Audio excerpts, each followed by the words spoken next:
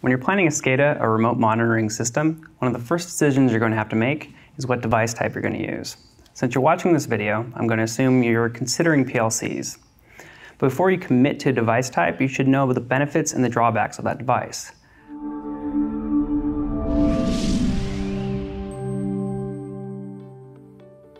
PLC, or Programmable Logic Controller, is a SCADA device that you can use to monitor and control electronic processes.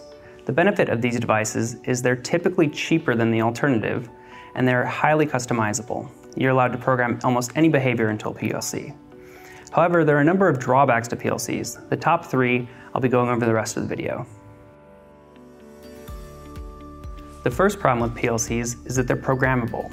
This gives you a wide range of control over the behavior of PLCs, but it also requires a long time to program them. PLCs don't work out of the box. They have to be programmed individually in order to work. Now, if you don't have a lot of time to program them or a lot of time to learn how to program them, this can be an issue. There are alternative devices that you might want to look into like RTUs if you do not have the time to program PLCs. The second problem with PLCs is they have limited capabilities compared to alternative monitoring devices. PLCs are simple devices and they're specialized. They have a couple inputs and outputs, but not much else. If you anticipate that a site you're monitoring might be growing or its monitoring needs might change, you might want to look into an alternative device, or else you'll be buying a lot more PLCs.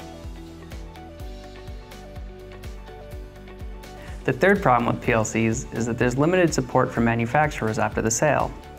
Because PLCs are programmable and there's no programming standard, it's easy to introduce bugs into your system. When these bugs occur, it can be difficult to find them, and if tech support is offered by the manufacturer, it can be a costly process because they're going to have to review all the code that you wrote to find the bug. If this is something that concerns you, you might want to look into an alternative device like an RTU, where there's a standard features list and tech support can more easily debug issues. So are PLCs the right device type for you? It depends on your situation. If you'd like more information on monitoring devices or you'd like to get in contact with me, press the link below. If you liked our video, don't forget to press the like button. And if you'd like more videos like this, subscribe to our channel. Until then, best of luck on your monitoring system.